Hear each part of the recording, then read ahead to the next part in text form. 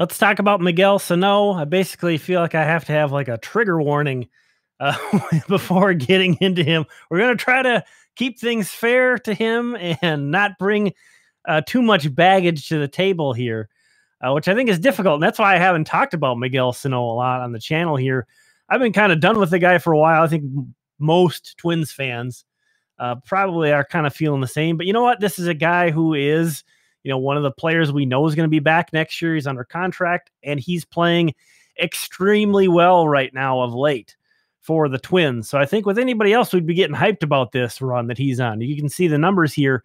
Uh, he's getting progressively better. The top line is April and May, middle line is June through August. And then I also just broke down the last 50 plate appearances. Everything is trending in the right direction.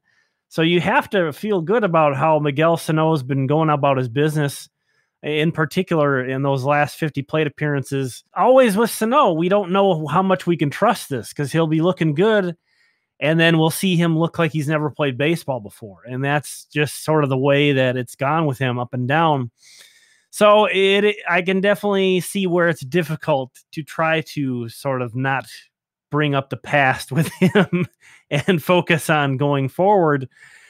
Um, but I think you know where this team is right now, uh, in this kind of limbo. Obviously, 2021 they're terrible but I think they're going to try to compete next year. And I think Miguel Sano is just fine in the in the picture of what the Twins are going to be trying to doing. Miguel Sano as a extremely high variance player. We see him making some great plays in the field there, what, getting people to wonder, out. can he play third again? No, no, he can't even handle pop ups still.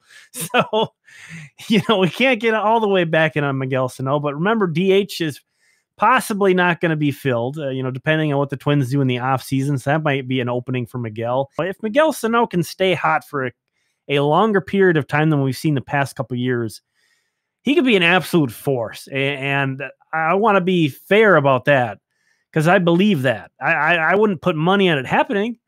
Part of this stance is also just because the Twins are going to have so much else to do this offseason if they're going to try to compete uh, they need to grab a shortstop. They're going to need to rebuild almost the entire pitching staff. So just sort of putting Miguel in the corner for the offseason and saying, all right, we got to do do we think we can get DH and first base at bats from. Hopefully we get the best of them, but we're, we're going to put them there and we're going to focus on this other stuff. I think that's basically going to be a necessity, whether you like it or not.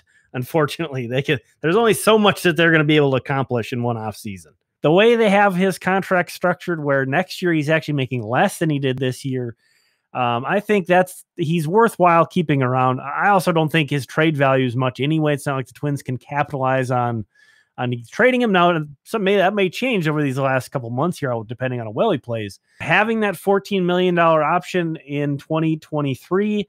Or, you know, if that gets declined, he's going to hit free agency. So, one way or another, this guy is going to be extremely motivated let me know what you think. Thank you so much for checking this out. Please consider subscribing for more Twins Talk here on YouTube.